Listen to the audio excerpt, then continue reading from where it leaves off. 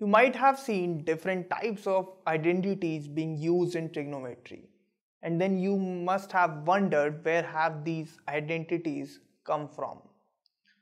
So we'll try to understand all these identities those are extensively used in trigonometry. But before understanding those identities we should understand what does an identity mean. So the definition of identity says that an equation is an identity if it is true for all the values of all the variables involved. Let's understand the meaning of it. So if you consider an equation x equals to 6, now can you tell me is this equation true for all the values of x? This is true for x equals to 6 and if suppose I take the value of x to be 0 so will it be true? Is 0 equals to 6 no. So this equation is an equation only. It is not an identity because it is not true for all the values of x. Consider one more equation which you have used in your previous classes. It is a plus b whole square equals to a square plus b square plus 2ab. Now try putting different values on left hand side and right hand side.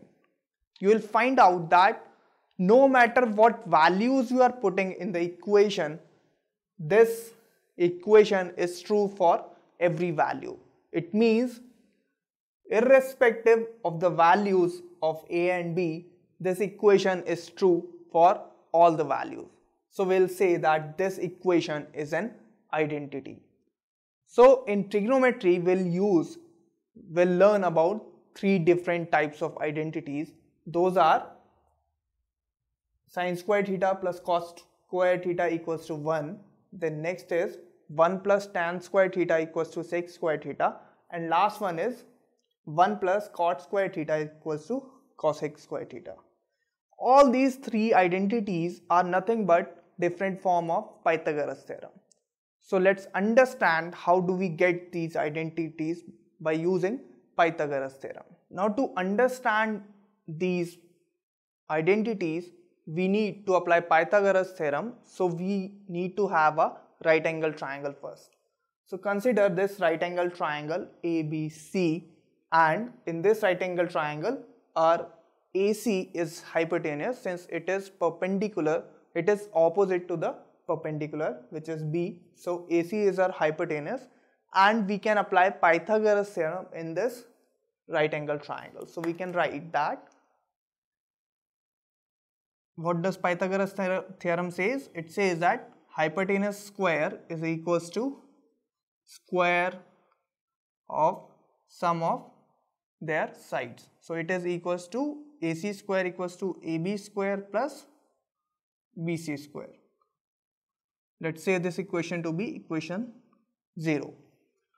So this we can say by using Pythagoras theorem and now if you consider angle A, we are considering angle A.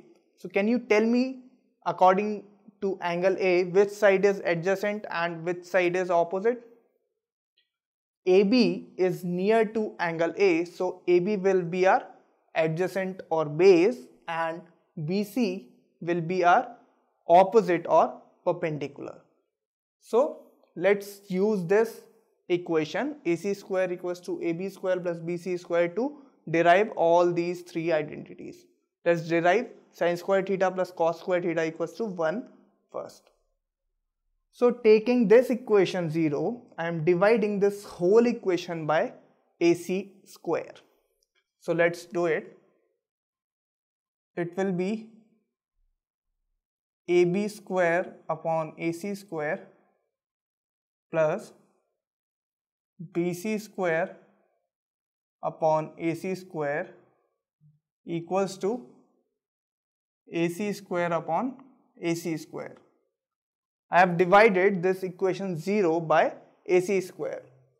Now this will get cancelled and we'll get 1 and I am writing this in the form of AB upon AC whole square and this in the form of BC upon AC whole square. So I can write it in this way AB upon AC whole square plus BC upon AC whole square equals to 1. Now if you look at this term AB upon AC, AB upon AC and think about SOHCAHTOA. So can you relate this AB upon AC by SOHCAHTOA? It is written adjacent upon hypotenuse.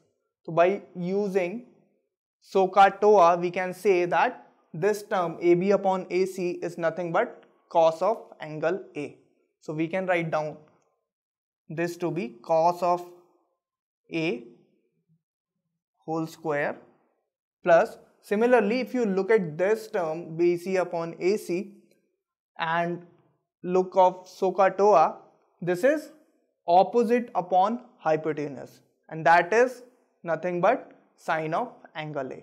So we can write in place of this term as sine of A whole square is equals to 1. Now we had learned that if we are written in this form that cos of A whole square plus sine of A whole square this can be written as sine square A plus cos square A equals to 1. Writing in this format we had learned before only. So finally this is a first trigonometric identity which says that sine square A plus cos square A is equals to 1 and since Pythagoras theorem is true for each and every value of A so this equation is also true for each and every, every value of A. So we had proved a first equation. Let's say this to be first. Now let's move on to our next equation that was 1 plus tan square theta equals to sec square theta. Now in this case I had divided the whole equation by AC square.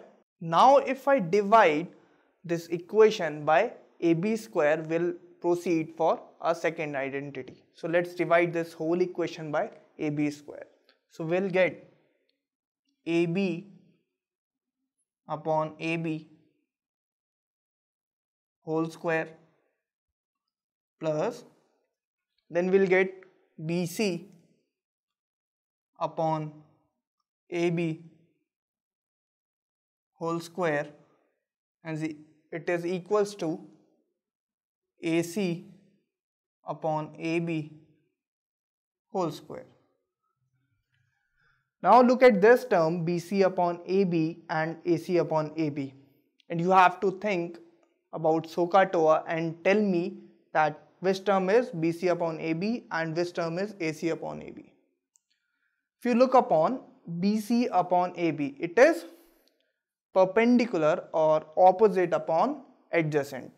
And if you look at SOHCAHTOA, it is nothing but tan of angle A.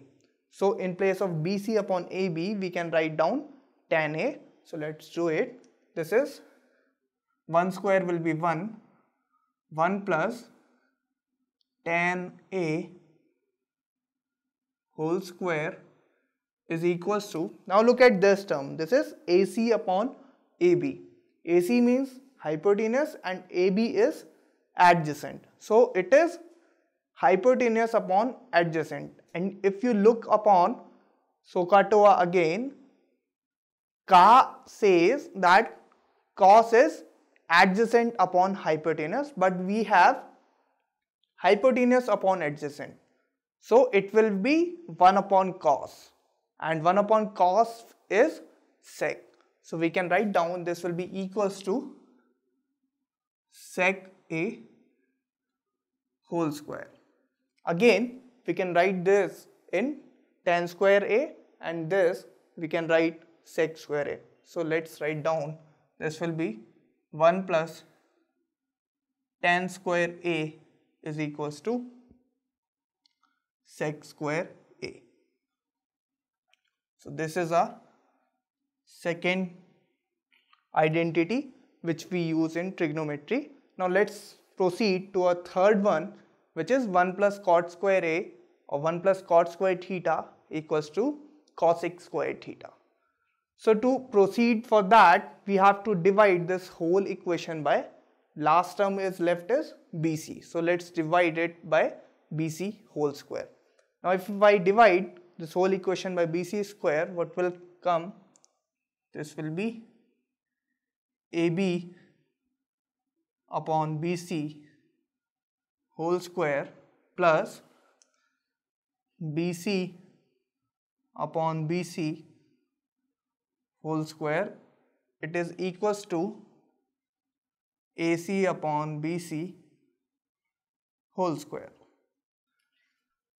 Now this will turn out to be 1 and if you look at this term AB upon BC can you get something?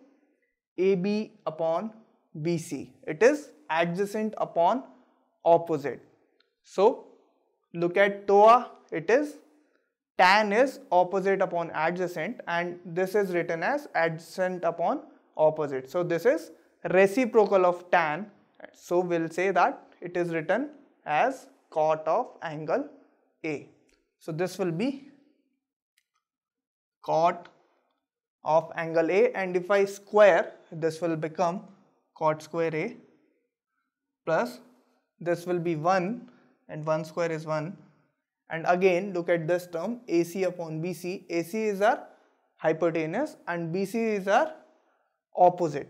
So it is written as hypotenuse upon opposite and if you look upon so it says that sine is opposite upon hypotenuse.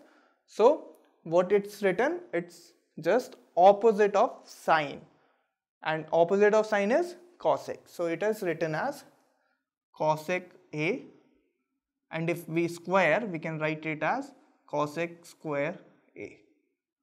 So this is a final third identity. Now these three identities are used extensively in trigonometry and ongoing with the chapter will use these identities extensively.